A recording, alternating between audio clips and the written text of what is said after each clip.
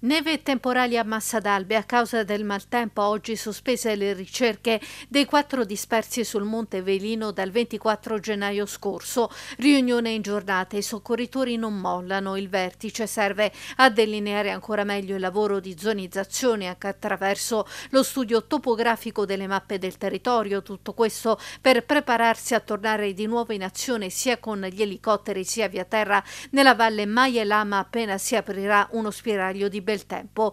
Chiedono di continuare a cercare i familiari dei quattro dispersi di Avezzano ormai da due settimane, da quel 24 gennaio scorso, quando Tonino Durante, Valeria Mella, Gianmarco Degni e Gianmauro Frabotta avevano deciso di andare a fare un'escursione in montagna sul Velino senza mai tornare a casa. Le ricerche erano partite la stessa domenica dalle 19 quando uno dei genitori ha lanciato l'allarme. Appena le condizioni meteorologiche ora altamente proibitive positive lo consentiranno, le ricerche riprenderanno. I congiunti dei quattro amici uniti per la passione per la montagna chiedono l'utilizzo di un nuovo battipista, oltre alle altre strumentazioni già in uso ai soccorritori. Da subito si sono mobilitati in cento tra uomini e donne del soccorso alpino, guardia di finanza, polizia, non reggimento alpini, carabinieri, vigili del fuoco. In 40 ora sono impiegati nel cercare di rintracciare almeno una pista da seguire anche attraverso lo studio del livello